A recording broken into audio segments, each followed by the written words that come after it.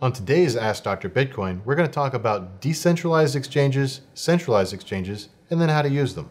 Stay tuned.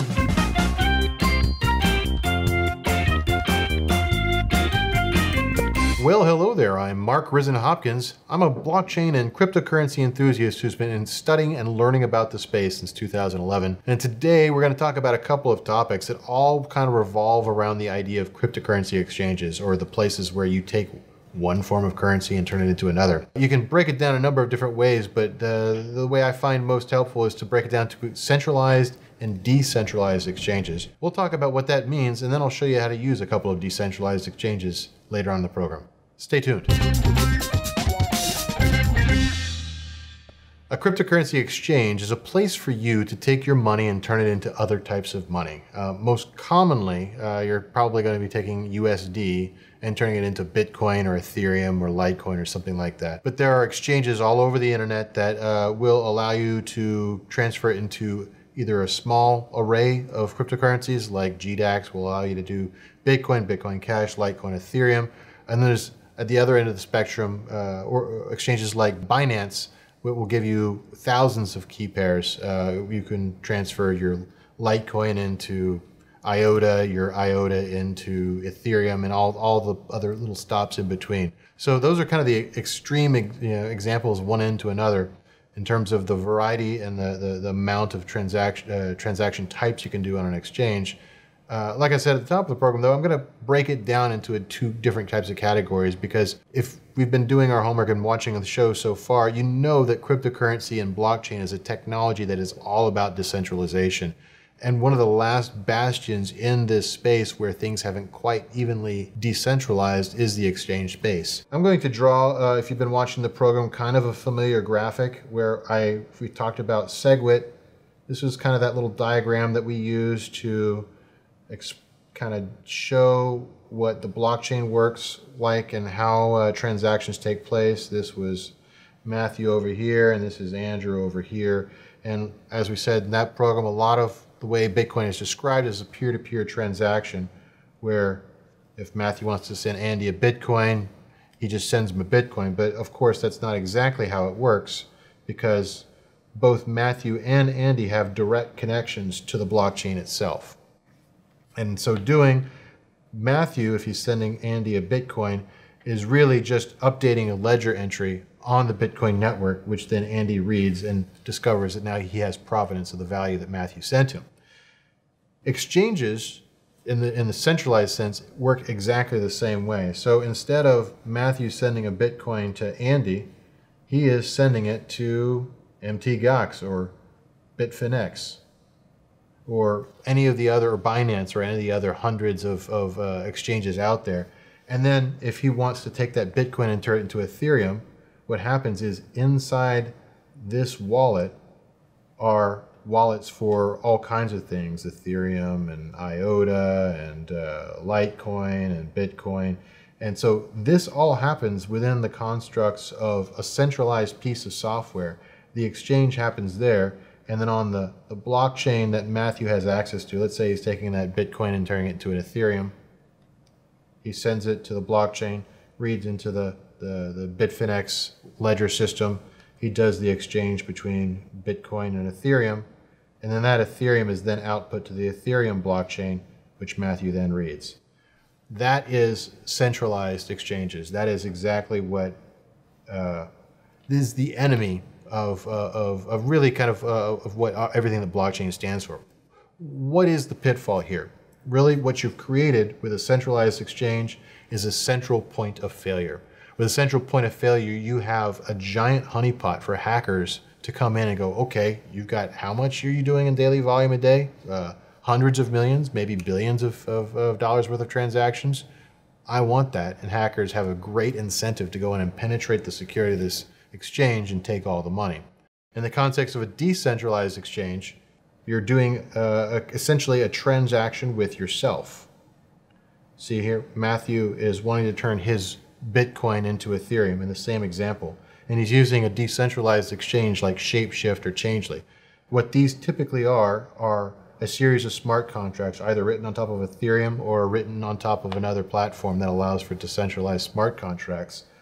And they act as matchmakers, or they act, or sometimes they'll act as as uh, as brokerages, uh, depending on how they're configured.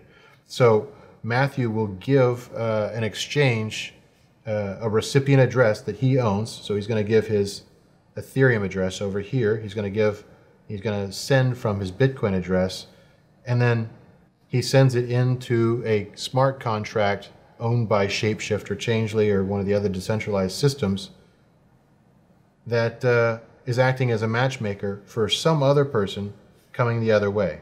So let's say Andy is doing the exact opposite. He's taking some amount of Bitcoin, or he's taking some amount of Ethereum, and he's transferring it to uh, transferring it to, to Bitcoin. He is coming in this way. Matthew is coming in this way, and in so doing, they have uh, been match made by a series of smart contracts. The difference being here is that the value is transient. It doesn't stay locked up in a wallet that's a giant honeypot. It's there for the duration of the matchmaking in escrow. And if the match is not made for whatever reason, transactions get sent back to the originating wallet address. It's a lot safer for the, the user and it's a lot uh, safer for the ecosystem because there's not a giant honeypot for hackers to try to penetrate. So we talked a little bit about the benefits of a decentralized exchange. Let's talk about how to use one. So I have uh, with me here, uh, I've got one of our Wilco wallets, which is our pre-configured uh, wallet that we make here at the company. And then I've also got over here my mobile phone that we're going to use. Now what I'm going to uh, demonstrate for you here is how to uh, use the standalone application for uh, Shapeshift as a way to uh, quickly move money from, we're going to use Dash to Ether because they both have pretty quick block resolution times. It won't be a long demonstration. Here, as you can see on the screen, this is what pops up uh, on the Wilco wallet. It pops up the first time you, you load up the app. You've got a drop-down list of source currencies. There's, there's quite a few here. And then you've got a, see all these ones that are grayed out are ones where there's not enough liquidity or there's not enough people using it to have a match made, but they have the functionality basically built in.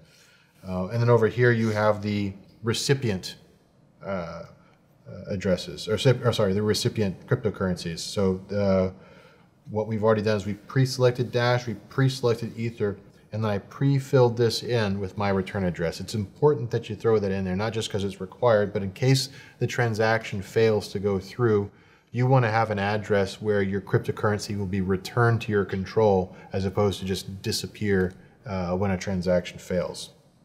Now, if you know a specific amount that you want, rather than just uh, kind of uh, whatever, you're going to be a market taker, you can pre-fill in an optional amount here. I'm going to send 0.1 dash, and I'm going to convert that to Ether. You see right there, it says it's calculating a custom rate.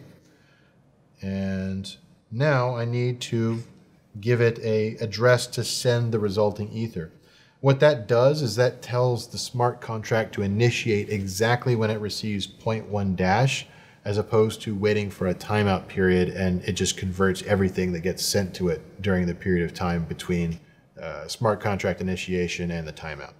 So on my phone, I'm going to load, load up, uh, where is it? Coinomi. And I'm going to display my recipient address.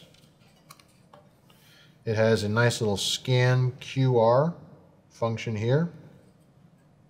We're going to allow the Wilco wallet access to the camera and then we'll scan that QR code. So we scan the QR code and the address pops right into that blank right there and we hit shift. So it'll start the shift and in just a moment, we'll be able to monitor the progress of the smart contract. As you can see, we've got a giant QR code and it says awaiting deposit. So what did we say we were going to shift? We're going to shift 0.1 dash into whatever the equivalent amount of Ethereum is. So we pick up the, uh, the wallet here, turn on our QR code scanner and send button, hit confirm and it should be sent. And so, yeah, hit the network. So what will happen next is you will see the word uh, awaiting deposit turn green. The word exchange will turn yellow as it's in a pending state while it's in the matchmaking mode. And then finally, once it all resolves and it has sent it back to us, it'll turn green on the complete side and the transaction will be done. So as you see, it, uh, it now has registered it as being sent. If you look on my phone, it now shows one confirmation. One confirmation showed it as being received. It just flipped over to be the exchange has been complete. So let's flip over to the Ethereum address over here and it shows zero confirmations, but it has it. Okay, one confirmation. Now, uh, so the entire exchange took uh, less than, I don't know, maybe run a timer on that, but it was like about 30 seconds, 45 seconds or so. Not too shabby. Because it's decentralized, because Shapeshift and Changelly are decentralized, you can actually run them inside of other programs. They're APIs that you can access from the web, you can access from this native application, or you can go inside of commonly used cryptocurrency wallets like Coinomi and, and, uh, and Jaxx. And if you see over here in the upper left-hand corner, the exchanges are actually built into the wallet. So let's go ahead and try Changelly, which is exactly like Shapeshift, except that it has uh, a different basket of currencies that it works with. So um, the only ones that will be available to, to use on the, the left-hand side are the ones that you actually have set up within your wallet. But if you look over on the right-hand side, you've got a much wider array uh, of things available to you. Again, things that are set up already, but you're also able to use a, a pretty wide variety of uh, ERC20 tokens with some of these as well. So let's go ahead and send ourselves 0.1 dash and I'm, I'm feeling I'm really feeling Ethereum today so we're going to send ourselves that back in Ethereum. As I described in the diagram it's going out and doing some matchmaking. Wants me to confirm right here. I hit send we can actually watch the whole process take place. It's waiting for the deposit into that address. And it already, I don't have to do any, because it's native to the application, I don't have to fill out all these forms. It knows what the return address is. It knows what the destination address is. It's going to generate all that and pre-fill it into the API.